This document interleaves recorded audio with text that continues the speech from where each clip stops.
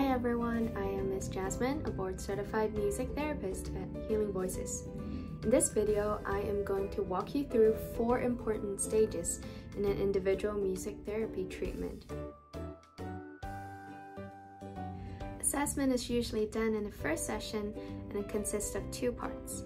The first part is where the therapist interact with the child musically and to observe his or her abilities in different areas, including social skills, communication skills, cognitive level, emotional stability, and motor skills.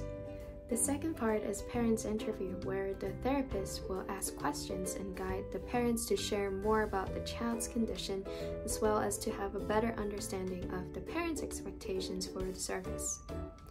Information gathered along with the observations will help the therapist to set a realistic and practical treatment goal.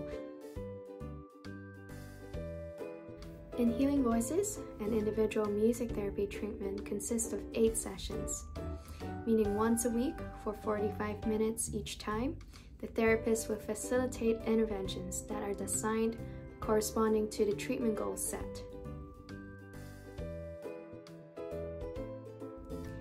Evaluation is important because it helps keep track of the treatment progress. The therapist will also maintain a transparent communication with parents so that they can keep up with any updates. And if necessary, we will also suggest some home exercises for them to work with their child outside of session time. When all possible therapeutic goals have met and the client is capable of growing independently, the therapist would discuss with the parents regarding the termination of services.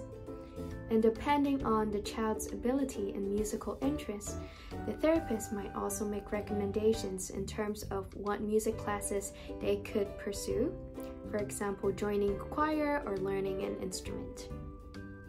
Hope you find this video useful, and I will talk to you next time. Bye!